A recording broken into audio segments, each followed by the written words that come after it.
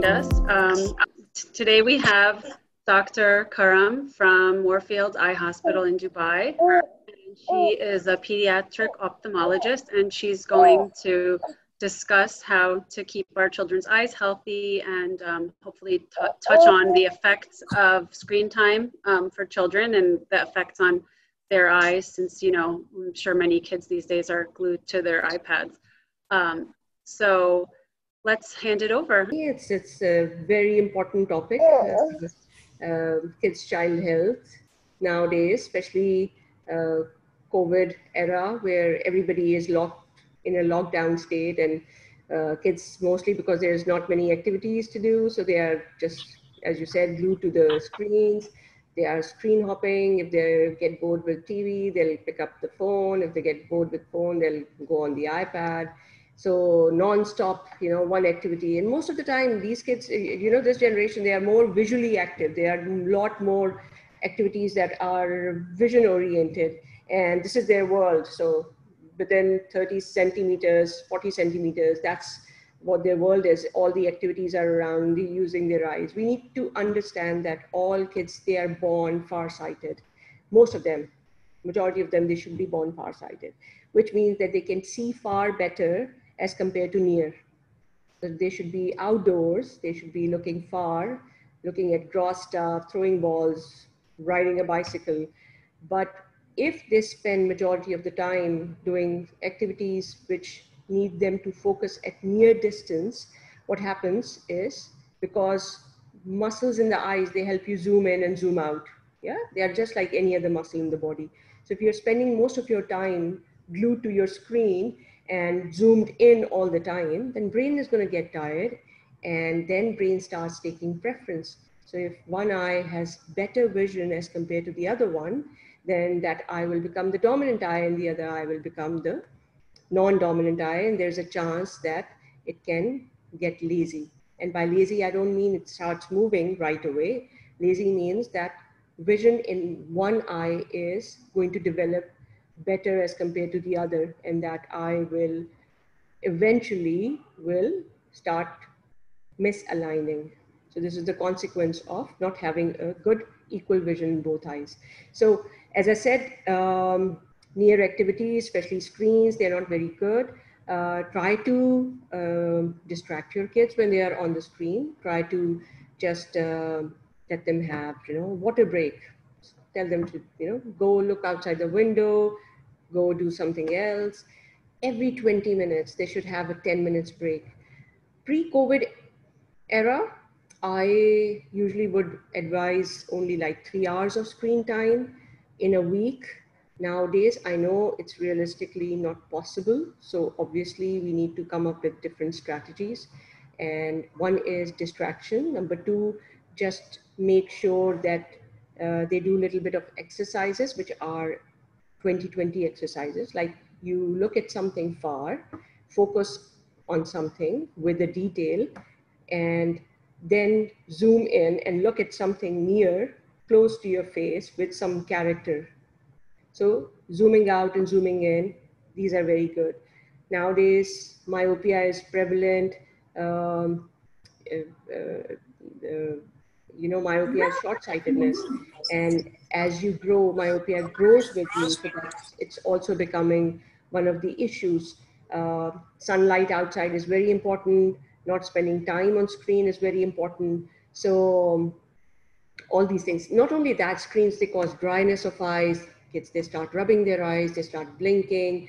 And uh, overall, you know, it just strains the eye. And you must have seen that, you know, when your child is on the screen for like two, three hours, they get irritable because it strains the eye, makes the um, vision a little bit blurry, and they don't know how to explain it. So when they don't know how to explain it, they become irritable. I hope it makes sense, yeah?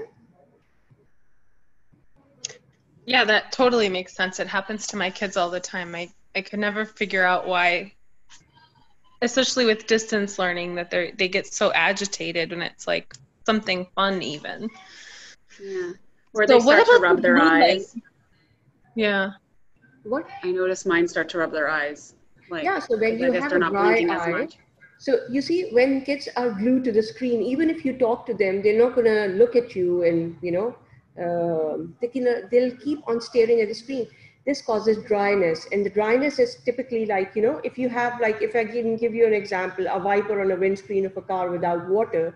So they are blinking on a dry eye, and that causes irritation, and that can lead to itchy eyes, watery eyes, rapid blinking and sometimes kids they do just these bizarre eye movements in which they don't want to blink and they are just like you know making these eye movements and that makes their parents anxious so it's all related to most of them they are related to dryness of eyes because of the screen time that i've been worried about is the the blue light protection and now i know you can turn it off on your on your phone but is that enough i mean they've been selling these specific glasses for it. Um, and I know that I can't turn the blue light filter off on the TV. It's only on the phones and the iPads. But can you tell us a little bit more about that?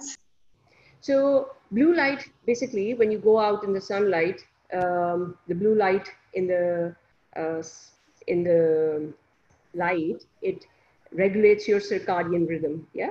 Now, when you are in bright daylight, you're not going to sleep because your circadian rhythm is functioning. Now, these kids, obviously, morning or day, they are in front of the screen. So the system never sleeps. So that causes um, uh, their sleep pattern to be, uh, it changes their sleep pattern. And number two, even if they sleep like six to eight hours, you're thinking like, hey, they are sleeping well, but when they get up in the morning, they are still tired. And they are tired because the system has been altered by the uh, being on the screen. So that's just in a purely layman terms that I'm telling you. There's a lot of scientific um, details behind it. But the thing that you can do is not make them be in front of the screen one hour before they go to sleep blue filter is very good. Some of the phones they have uh, um, uh, smartphones they have blue filter uh, technology, and I think iPhone has a night shift, so that can be deployed as well. And um, you can get these glasses. So I because my most of my work is in front of the screen, so I have the blue filters, um, uh, blue filter on my lenses as well. It doesn't seem so it's, it's like a blue filter, it's like a, something pasted on the lenses.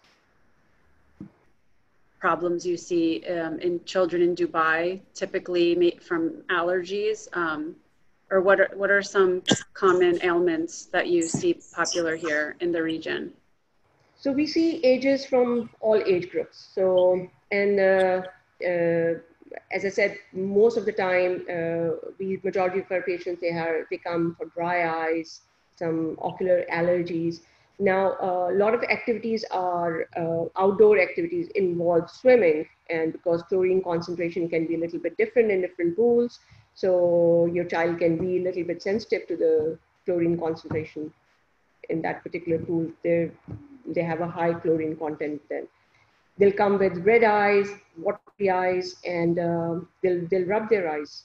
So it's better to just, you know, make sure that once they, it's like, it's important that they come out of the pool and take a shower, just wash their eyes with topical lubricants. Or if you see uh, them having red eye, just use the artificial tears. They are moisturizers. They are non-medicated. Anybody can use it. There's no brand for kids or adults separately. So anybody can use those drops. So this is one of the most common uh, thing that we see um, allergies from chlorine. And other than that, uh, because of the temperature variation inside and outside, outside is very humid these days, inside because we are in air conditioning all the time. That can also lead to dryness of eyes. So yes, mostly we do see that.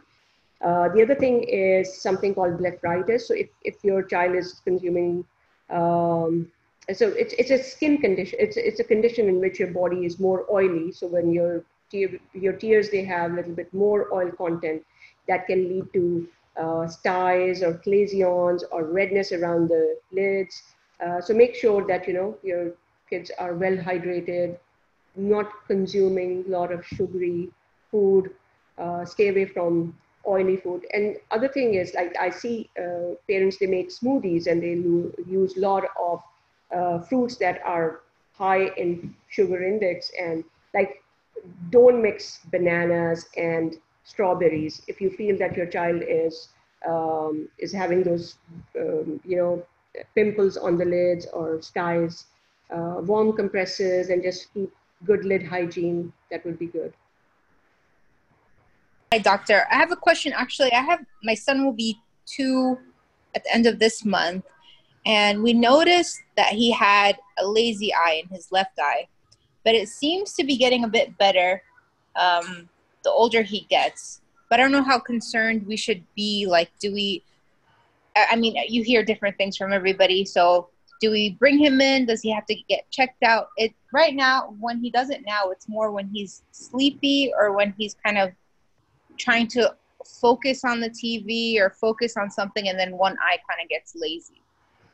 So let me get this straight. So that's that's a very important thing. That's a very important symptom. So um, it means that whenever he's doing any kind of activity, the muscles. That's the first sign brain is telling you. You know, um, uh, muscle is getting tired. So basically, you need to bring him for a, a quick eye assessment in which we can test for the power of the eyes. So now you see the power of the eyes um, should be symmetrical. Like for example, if you're far-sighted or you're short-sighted, power should be almost equal in both eyes. For some reason, if the if the power is asymmetric, and that can happen, you know, one half of the face can be different from the other half. If that happens, then the eye that has less power, brain starts looking after that eye, and the other eye uh, in response to having a blurry vision will either move in or out. Now, the turning of the eye that is going out, eh, usually it's not that dangerous because kids, they tend to grow out of it most of the time. The turning in of the eye is something that we take very, very seriously and we need to uh, check the power and the health of the eye. So I, I, would, I would say that it is important that he gets his eyes checked out. When he's tired or he's thinking of something or he's like daydreaming, then you will see it going out. Usually, um, turning of the eye going out, we have a very good reflex as the as kids grow. Their eyes they become more aligned, and uh, you don't see it majority of the patient. Only very very small percentage of the kids they um, need to be assessed regularly because uh, we don't want we want eyes to be locked in most of the time and we don't want them to lose uh, the balance the binocular vision you know? Um, so somebody suggested that i should get like an eye patch and put it over the stronger eye. This is one of these um, uh, uh we do these kind of exercises. So the treatment for t- eye turning out is number one to make sure that the vision is good. Number two the child does not need glasses. And if there are no glasses and there's no vision impairment and the vision is equal, the third option is to make sure that the eye that is turning out is also on working. So like you put the uh, patch on the strong eye and you let the other eye do a little bit of work for half an hour or 40 minutes to one hour. And that depends on if there's a difference in the vision. Usually it is not recommended if you have a very good um, 3D vision and we need to we need to assess whether the turning of the eye is more for near or for distance, because then the treatment is different. I hope.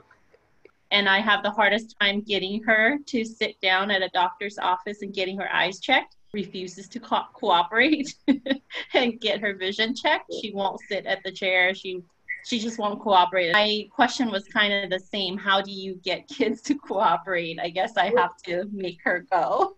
well, I'm blessed with a very good team, and I think we have we.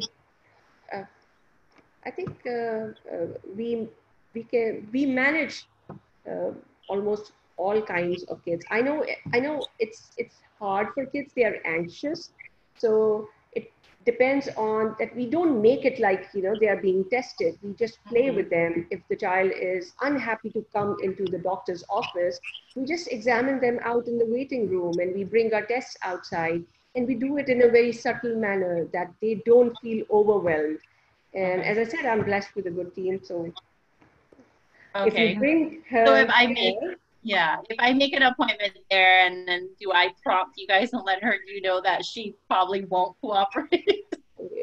she wouldn't even know that she's in a hospital. We'll try okay. our best to keep it as. Imagine that, you know, if your child is like sleeping eight hours, you get up in the morning, muscles are all healthy and active, and first three lessons they are fine. By fourth lesson, they'll start getting tired, and the muscle that is a little bit working harder to keep up will be the you'll start the movement. You'll see the movement will start and uh, it is better to have it checked up and uh, regularly monitored so that we don't end up with something which is significantly lazy and then not only glasses and the child needs patching as well. So something which you have noticed as parents it is better to get it checked up and then regularly monitor it okay my second question is for myself i have really bad um, eyesight i'm like i wear contacts since i was like 14 so one of my eyes like a negative eight and a half, and one of my other eyes like seven and a half. So two different vision. Okay. And um, I've considered getting LASIK before, and I know you guys specialize in LASIK and other eye health issues. And I was wondering how do you evaluate? Well, I was a candidate to get LASIK when I was uh, before I had uh, I think before I had my middle daughter, so about eight ten years ago and I had an appointment set up. I was getting ready to go, and then the doctor called, and they were not comfortable um, with um, doing my eyes because my I think my cornea was too thin, um, and so they they just said we just don't feel comfortable doing the operations on you. Maybe technology will get better. So I just haven't gone back. Um, so do you do evaluations there as well? Absolutely. Before any procedure, you should evaluate get an assessment done to see whether you're a good candidate for this procedure or not. Now, mm-hmm.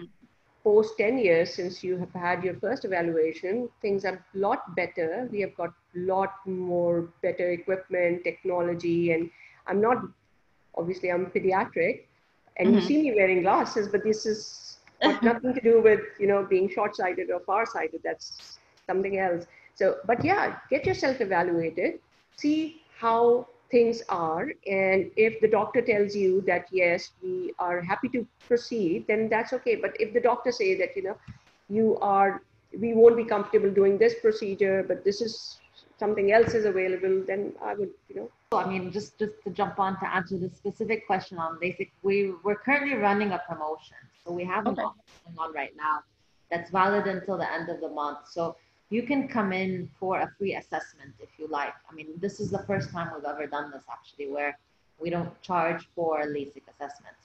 Um, okay. And so, so basically, if you want, you can also get in touch. I mean, you know, Marlo and Jenny have my contact details, and if you if you want to, I can get in touch with you directly. Have somebody book you in just to do an assessment, and that's mm-hmm. where the doctor will see whether or not you qualify for it before discussing anything else.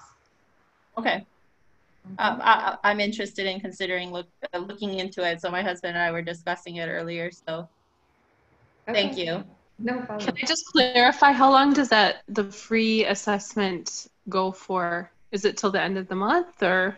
Yes, the offer is currently valid until the end of July. So um, we we may consider extending it, but at the moment we're, we're it's still on just until the end of July. Perfect.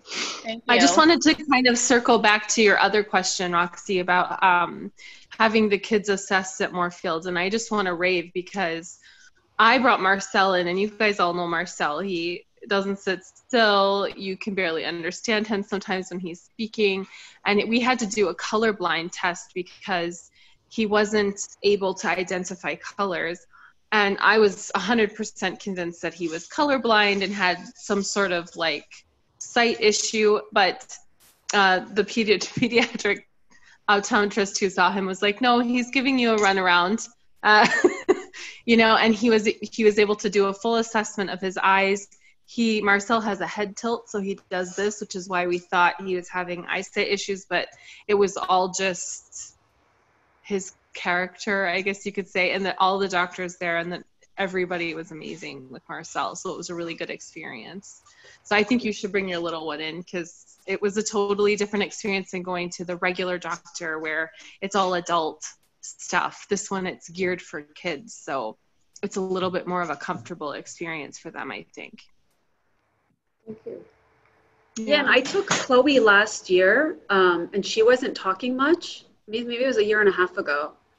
And they could do with blocks and certain things like, you know, she couldn't read the letters across because she didn't. She was only two and a half at the time, but like she could read that if it was a house or a, like whatever symbol it was. So they have the equipment. Like it's a pediatric.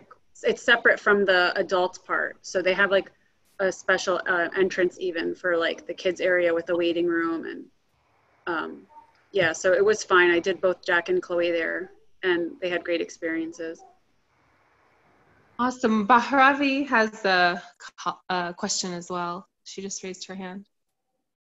Hi dr Khurram. Um, yeah my son sid has been um, to um, Moorfields twice. My husband's been there. So yeah we're all uh, about Moorfields. Um, my question is, um, he he was treated twice there for some kind of an allergic reaction in his eye where he had just like red lines and it, it turned out that he had some kind of allergy to maybe dust or sand and he was just given like topical drops uh, i think tobradex or something. And i've noticed he's had them uh, he's had that um, again in his eye for the past month and a half. Maybe it's with all the dust um, we're constantly indoors um, and he's constantly on the like you know with distance learning on the screen and then whatever like games they're playing so a lot more screen time. And i since i was a little hesitant to go to a clinic to get it checked um, i just put like Systane like um, lubricant um, just water drops in his eyes. So they go the the redness goes away but it comes back. So i just wanted to check with you dr Khurram do i is it better i bring him so he can be tested and I'm given a prescription? So for allergies, uh, one thing that we need to understand is there's no cure for allergy. We can treat the symptoms. Now, if the child is um, allergic to dust, anytime he gets exposed to it, he's going to get a red eye. Yeah. So you need to find out what works best for him. If it's the topical drops, I wouldn't say Tobradex. Tobradex is something which has steroid in it, stronger drop, and it is yeah. just till because when you start anti-allergy drops, it takes about two three days before it starts working. So we have to give it under cover of steroids so that you know uh, the symptoms they get better. Uh, so our Systane is um, topical uh, lubricant, and if you think that eyes are red after swimming, eyes are red after going to the beach, or even you know taking a hot shower or being spending time in front of the screen for um, quite some time if the eyes are red. Just just keep on moisturizing the eyes. Okay. Make sure that he's well hydrated. Yeah. Um, as long as there's no swelling of the eye there's no discharge he's not rubbing the eyes too much and um, uh, he's not uncomfortable. If you don't feel comfortable you don't have to come to the clinic. These are all symptoms that can be taken care of by the topical lubricants. Um, i am uh, in the middle of my clinic as well right now. and as you can see, I'm wearing scrubs. I've got a patient in theater as well. Uh, and before somebody comes and you know, drags me, I hope uh, you have a little bit better understanding um, of how, what to do right now because of the COVID situation and being kids being indoors most of the time. Um, I'll ask Maha to give uh, to give my email to the group. And if anybody has any questions, I'm very good at replying to the emails. So if you have any questions, you know, just feel free, just email me and I'll be happy to respond. Yeah. Thank you. Great. Thank you so much for your time. No, thank you so much for having me here. It was fun. And uh, guys have a lovely evening. Okay.